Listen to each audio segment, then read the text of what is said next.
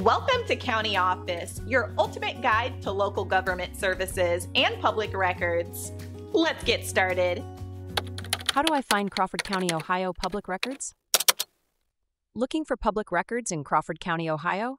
Let's dive into the steps you need to follow. First, identify the type of record you need. Are you searching for birth, death, marriage, or property records? Each type has its own specific office. For birth and death records, visit the Crawford County Health Department. They maintain records from 1908 to the present. You can request these records in person or by mail. The office is located at 1520 Isaac Beal Road, Bucyrus OH 44820. Office hours are Monday through Friday, 8:30 a.m. to 4:30 p.m. When requesting by mail, include a completed application form, a copy of your ID, and the required fee. As of 2023, the fee is $25 per certified copy.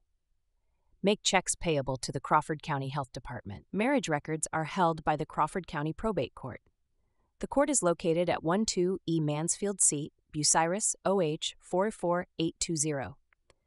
Office hours are Monday through Friday, 8:30 a.m. to 4:30 p.m. You can request records in person or by mail. The fee for a certified copy is $2 per page. For property records, head to the Crawford County Recorder's Office. They maintain deeds, mortgages, and other property related documents. The office is at 112 E Mansfield, Suite 105, Bucyrus OH 44820.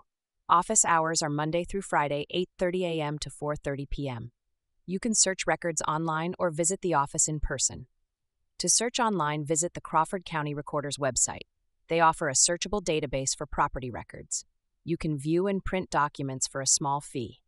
Online access is available 24 7. For court records, contact the Crawford County Clerk of Courts. The office is at 112 E Mansfield Street, Bucyrus, OH 44820.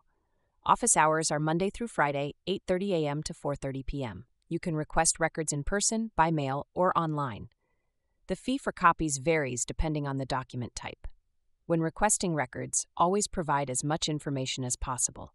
Include names, dates, and any other relevant details. This helps the office locate the records quickly and accurately.